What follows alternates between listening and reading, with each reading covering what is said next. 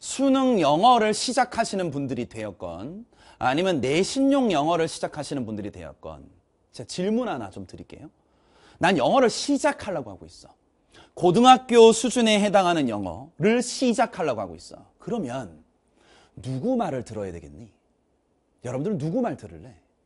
주변? 아니면 뭐 나 같은 인간 강사의 말?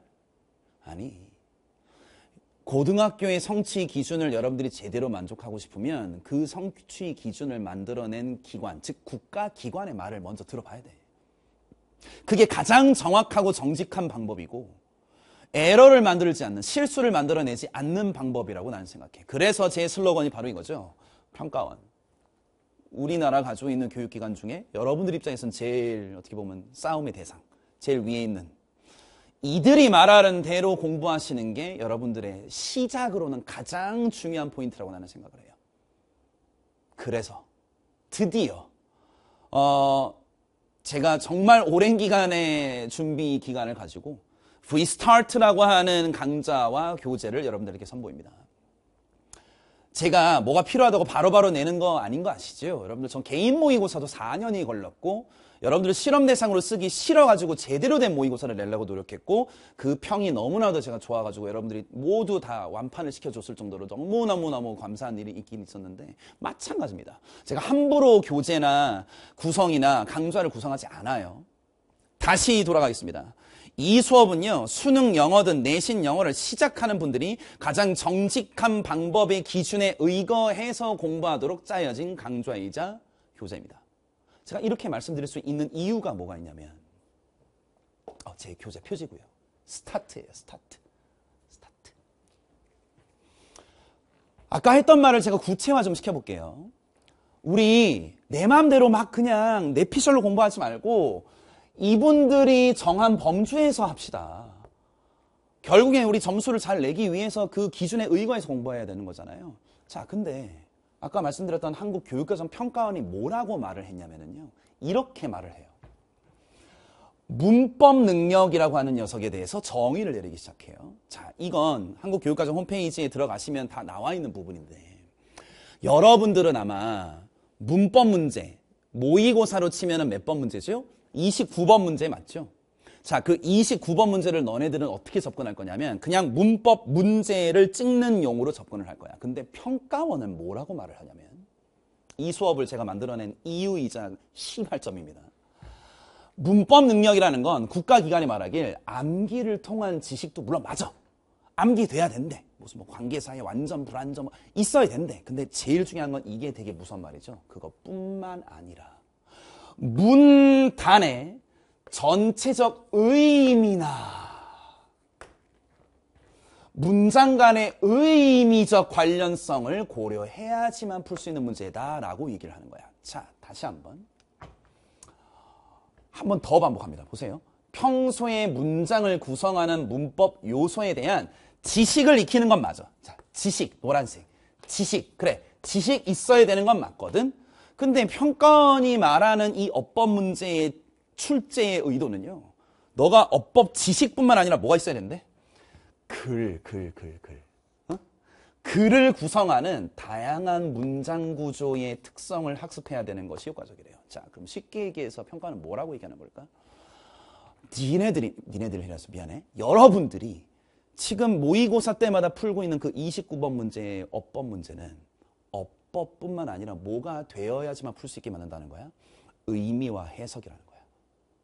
그럼 국가에서 너 29번을 내가 너의 의미 능력, 의미 파악 능력, 어법적 지식 능력 다 파악해 볼게. 라고 하게 문제를 출제한다라는 건 네가 뭐를 해야 된다는 걸까?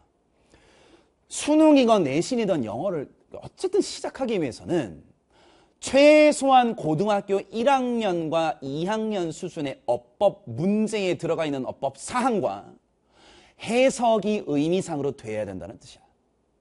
이게 여러분들 제가 이거 말하면서도 소름이 돋는 게 제가 진짜 이 수업을 구상하느라고 시간을 정말 많이 썼어요. 보시면 압니다.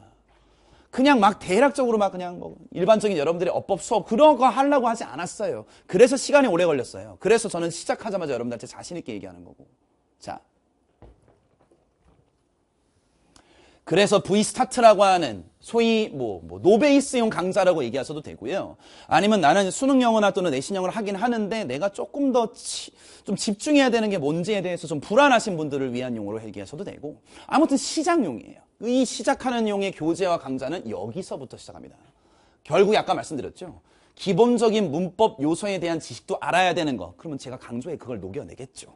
또 의미를 여러분들이 이해해야 되는 문장 구조의 특성이나 아니면 글을 구성한 글을 구성하는 지식도 알고 있어야 된다는 거예요. 그러니 아까 말씀드린 것처럼 고등학교 1, 2학년도에 해당하는 어법 문제를 대상으로 우리는 모든 것들을 다 분석해야 될 의무가 있습니다. 평가원이 그렇게 얘기했으니까요. 그래서 이제 여러분들 지난 세월 동안 어법 문제만 풀고 넘어가신 분들 저랑 이 교재와 수업을 통해서 진짜 국가에서 요구하는 게 이 정도 수준이구나라고 하는 해석력과 어법력을 같이 시작, start 할 거예요. 그래서 여기 써놨죠. 실제 어법 문제는 고교 생활 내내 여러분들이 반드시 알아야 될 문장 구조, 해석을 위한 문장 구조, 어법을 위한 문장 구조의 핵심과 기본이 모두 담겨져 있습니다.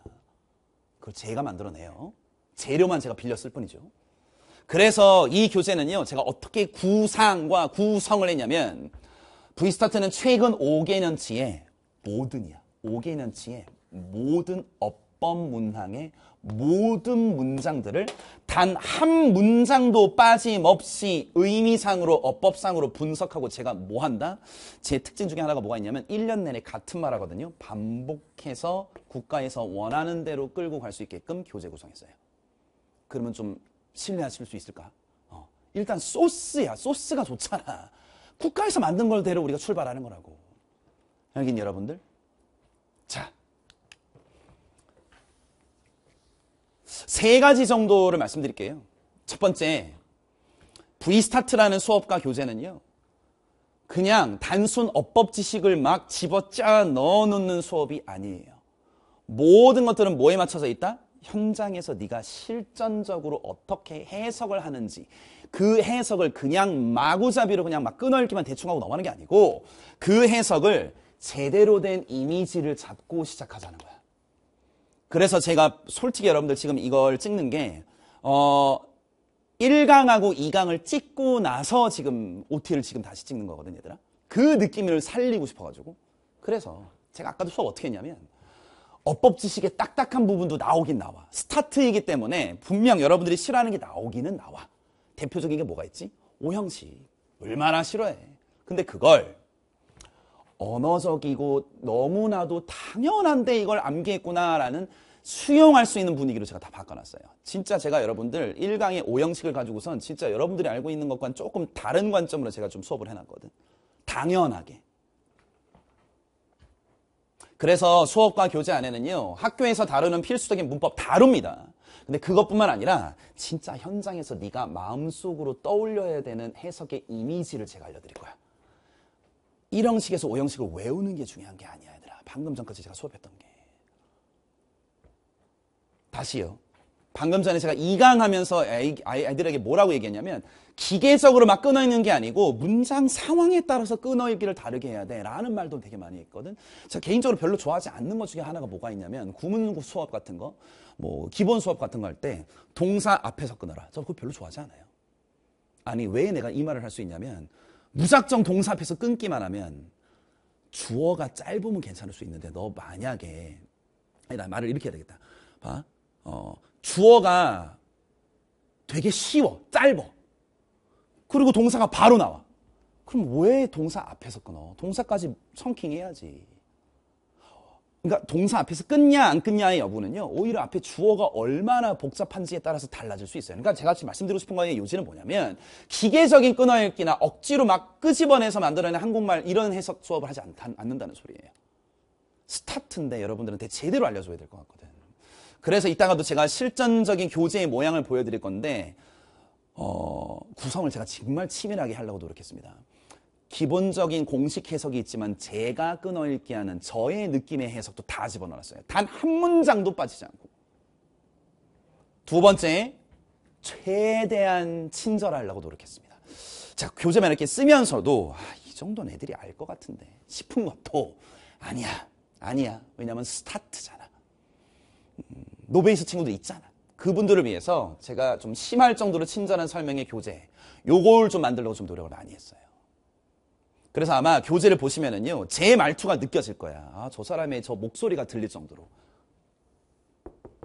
그리고 심지어 이따가도 보여드리겠지만은 어떤 식으로 기계적 끊어읽기의 공식적 해석 말고 실전에서 어떻게 실전적으로 해석해서 김재영처럼 쭉쭉쭉 밀고 내려가면서 해석하는지에 대한 의식적 또는 무의식적 흐름도 제가 다 보여드려 놨습니다. 그래서 이 수업을 하는 이유가 뭔데요? 좀 기분 나빠도 들으세요. 김재영도 얘기야. 최종 목표는 뭐냐면 점점 점점 점점 소반은 좀 힘들었을지언정 뒤로 가면 갈수록 저 인간이 계속 똑같은 얘기만 하네. 그러다 보니 어느 순간부터 내가 어 이건 내가 좀 단어만 알면은 해석 물 흐르듯이 가볍게 잘할 수 있을 것 같은데 즉 저랑 점점 점점 해석의 결이 비슷해지면서 속도도 빨라지고 정확성도 기하는 게 제 제일 큰 목표죠. 어, 뭐 제일 마지막 줄에 여기 나와 있는 거에서 내용은 뒤에 내용과도 좀 연관이 되어 있는데 저 뒤에 내용을 얘기하면서 이것도 말씀드릴게요. 자, 보세요. 제가 이거 만드는데 시간이 좀 오래 걸렸다 그랬잖아요. 아니, 만드는 건 그냥 금방 만들 수 있어요, 여러분. 아니, 그냥 기본적인 어법적 내용들을 제가 그냥 충분히 쓸 수 있고, 그냥 어디서 따다 붙이기만 하면 되고, 아니, 만드는 건 어렵지 않아. 근데 이게 구성이 문제인 거야.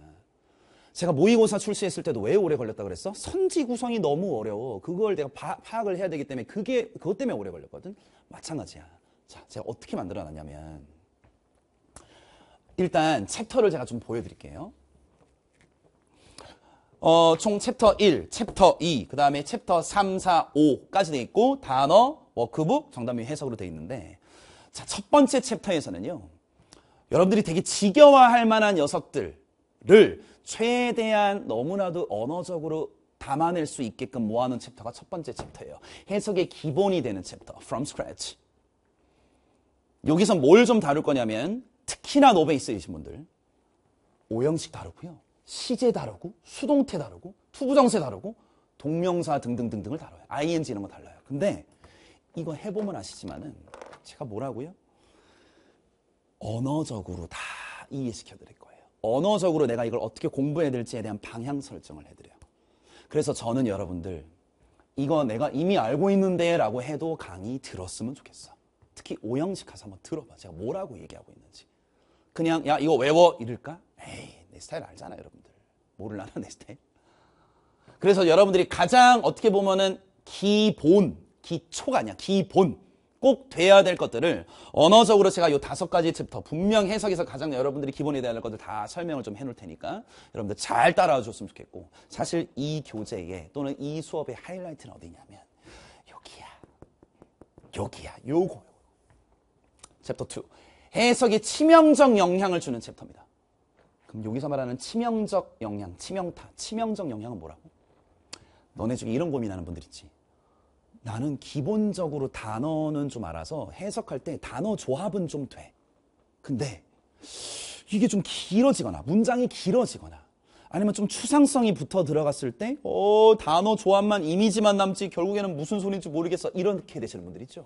그분들은 해석 실력의 절반 이상을 차지하는 관계사가 불안하실 가능성이 매우 높고요. 여러분들이 정말로 아주 미세한 디테일이지만 눈치채지 못하면 해석을 완전 다르게 하는 경우들이 있기 때문에 단어만 알지 해석이 잘못되는 거고요. 즉 생략하고 수지 요거 요거. 제일 힘든 게 여러분들 이거잖아. 단어는 아는데 문장 길이가 길어지니까 어느 순간 회로가 끊어지는 거. 그것의 주범인 분사에 대한 얘기 할 거고요. 치명적인 애들이잖아. 또 너네들 고민하는 게 뭐가 있니? 전치사. 솔직해지자고. 아니 전치사를 내가 기본 뜻은 아는데 기본 뜻에서 넘어가는 것들이 나오는 순간 마음이 너무 아파. 그래서 이미지와 연습이 중요한 전치사의 기본과 확장. 여기에는 저 얼굴이 들어가 있는 저 그림, 일러스트까지 넣었습니다. 일러스트까지. 또 형태만으로 보지 않아야 되는 해석으로의 병렬 굉장히 치명적입니다. 나중에 알면 알 거예요. 병렬이 뭐 치명적이에요? 큰일 납니다. 치명적이에요. 이건 기본이고요.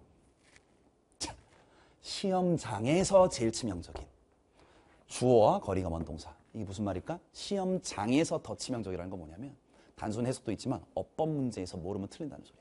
라고 하는 아주 치명타를 잘 모아놓은 녀석이 바로 이 챕터예요. 그래서 일반적으로 여러분들이 알고 있는 무슨 뭐 어법서, 기본서와는 조금 어떻게 보면 구성이 좀 다를 거야. 됐니? 근데 여기서 멈추지 않지. 챕터 3. 수능이 목표잖아. 또는 수능 직전까지 내신이 목표잖아. 그럼 누가 돼야 돼? 강자가 돼야 돼. 그럼 강자가 되려면 바로 이전까지 했었던 기본 해석력 또는 어법력 그리고 치명적인 것까지 챙기는 능력 플러스 디테일 챙겨야 돼. 그래서 강자가 되기 위한 도치와 대동사와 대명사까지. 특히 대명사 대충 눌러서 밀면서 읽는 분들 가서 경험하시면 정말 도움될 겁니다. 그리고 네 번째 챕터는요. 조금 난이도가 있는 녀석들이에요. 네 번째 챕터들은 종합적 연습 문장이라고 해서 아까 챕터 1과 2와 챕터 3이 종합적으로 여기저기 등장하는 문장들로 다 모아놨어요. 근데 내가 다시 말씀드릴게. 그 것들만 이렇게 선별적으로 모아놓은 거가 아니고 아까 말했지 5개년치에 해당하는 그냥 모든 어법 문장들을 다 보니까 자연스럽게 이게 구성이 되는 것 뿐이야. 그래서 나는 국가가 뭐, 너 이렇게 공부하세요 라고 하는 걸 여러분들이 믿어야 된다는 거라고.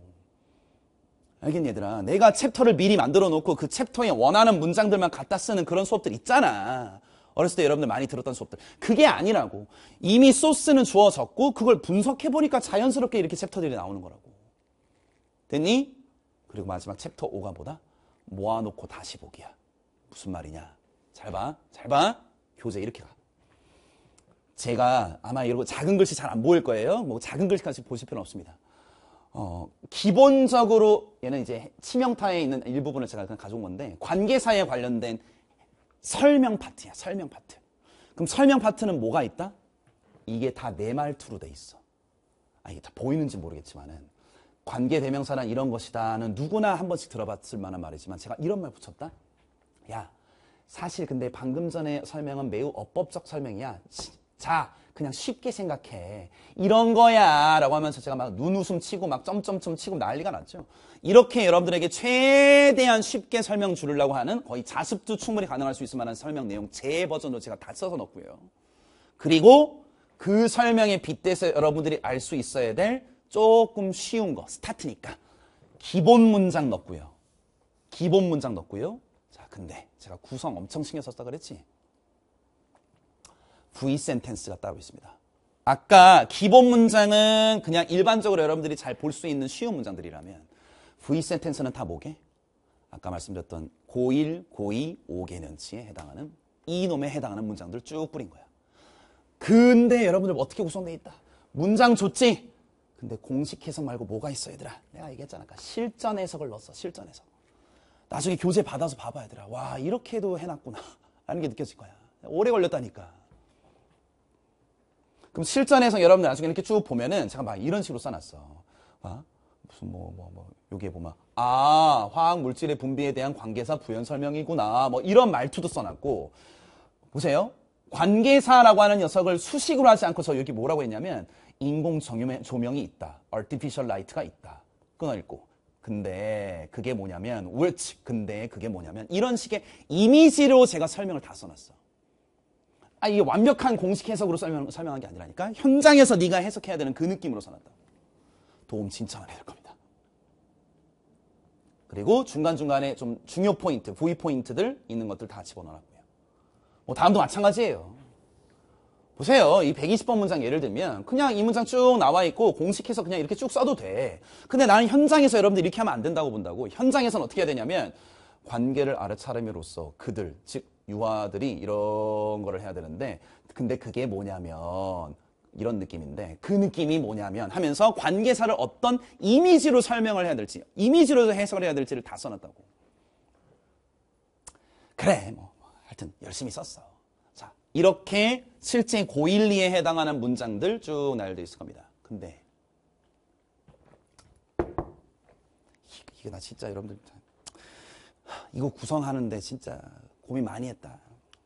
내가 이 인문서 도입 교재를 쓰면서 옛날에도 나도 어렸을 때 학생 때 그런 공부를 했을 거 아니야. 제일 힘들었던 게 뭐냐면 어떤 주요한 타이틀이 있어. 예를 들어 이제 관계사 이렇게 딱 있어. 그리고 얘에 관련된 문장이 1번, 2번, 3번, 4번, 5번 문장 이렇게 있어. 근데 너네 이런 생각 안 해봤니? 개별 문장은 그래 해석이 돼.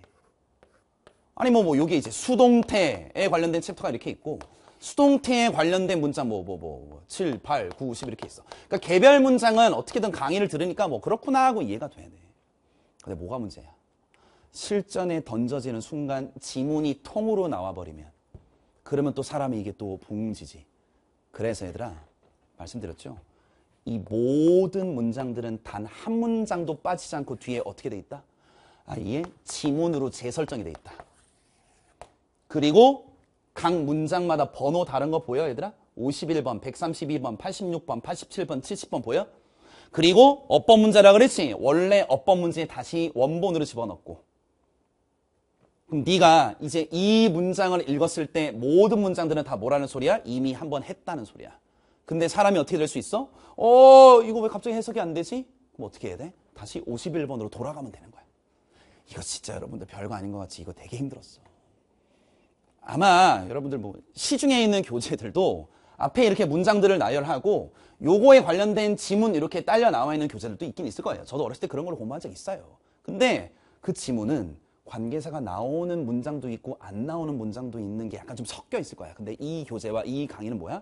모든 문장은 다 너와 내가 했던 문장인 거야. 그럼 너는 자연스럽게 챕터 5에서 모아놓고 다시 보라는 건 이해도 돼야 되고 어법 문제도 이제 잘 풀어야 된다는 소리랑 똑같다는 거야. 그럼 너의 최종 목적지는 어디야? 어, 챕터 5. 모아놓고 다시 봤을 때. 그때 자연스럽게 읽힐 정도까지 반복하는 거야. 복습은 그게 다예요, 여러분들. 요걸로도 어법 문제 푸시고 다 해보신 다음에 뒤에 제가 워크북도 또 집어넣어놨어요. 깨끗한 지문으로 다시. 반복하면서, 오, 술술 읽히는구나. 라고 하면서 가시도록, 하기도, 하도록 지금 반복하기를 바란다고. 최종 목적지는 어디라고? 내용이 기억나도 상관없어. 선생님, 내용이 기억나서 저 이해되는 것 같은데요? 야, 원래 언어는 기억이야. 익숙하게 만드는 기억이야.